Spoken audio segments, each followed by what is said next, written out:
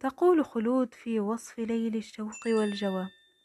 يا سائلي عن نار الجوى وما طال الكرى جفوني هو ضياء مهما سترته ما طوى وأحرق ما تبقى من مكنوني يا سائلي عما جرى وما بلغته ظنوني انظر إلى العيون فما كذبت أبدا لغة العيون.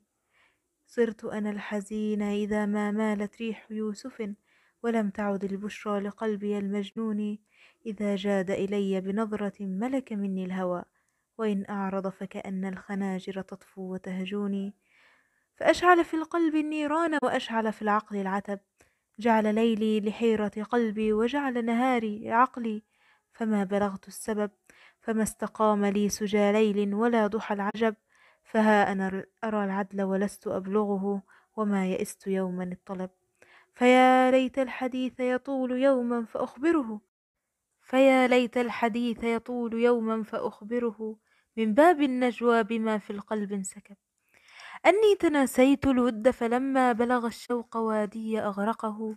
فكأنني لم أدفع بالأمس دعى الساقين. إن كنت تسأل عن وجداني فقد ملكته. وأسأل عن وجدانك فأرى أن لا حياة به ولا راوينا. أهان عليك ودا كنا بالأمس نكتمه وصاح غراب البين بالخلق يعزينا. غدا تبلغ الطير ما أودعته فأهجره للطير ولم أكن يوما من الهاجرين.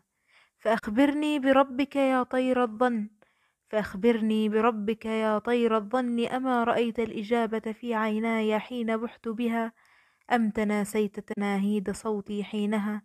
أجيبك وألتمس منك إجابة تشفيني فلم أراك تدنيني ثم تقصيني أما.